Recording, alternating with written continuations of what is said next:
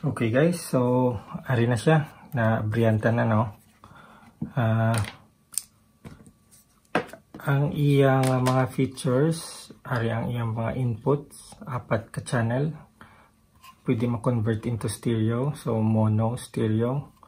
Iya output, uh, mono stereo man siya. So kung may adapter ka like this para sa headphones, nako-convert siya sa headphones out.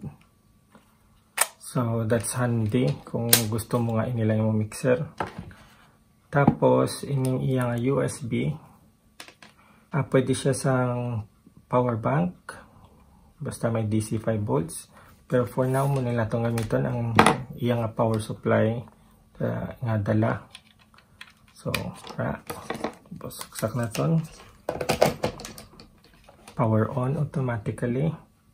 Tapos as I've said, kung may headset ka, pwede mo makuhaan kay ga auto-convert siya from uh, mono to stereo. Tapos, ari aton nga zoom G1X on.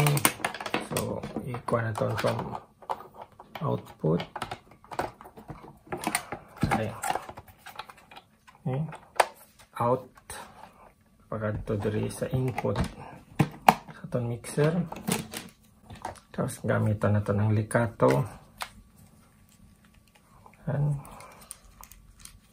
So, receiver. Kadto dire sa zoom. Tapos, ini sa gitara.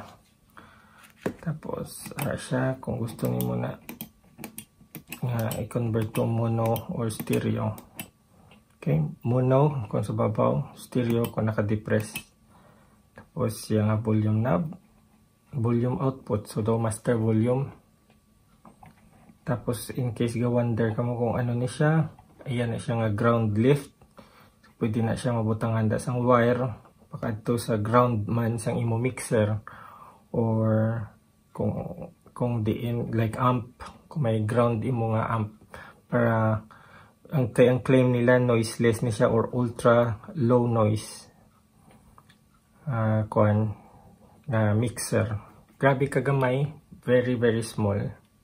So daw pang pocket lang ani, daw pang bulsa. So that's it guys, ang akon nga daw unboxing sining Muki. Would like na i-kuan i-pronounce ni kung sakto akong pang-pronounce. M-O-U-K-E-Y, Muki. Daw ang ga-distribute sini is Donor. Although gimbakal ko ni sa Amazon. Tapos may backstory pa gini kay pagbakal na kon may do halos similar ini siya MA-MX1. So parehas gid ila itsura halos pero ini 28 itong isa 20. So ang gimbutang na ko sa basket ang 20 kay barato. So wala ko pa ma-unbox actually. I will unbox it later.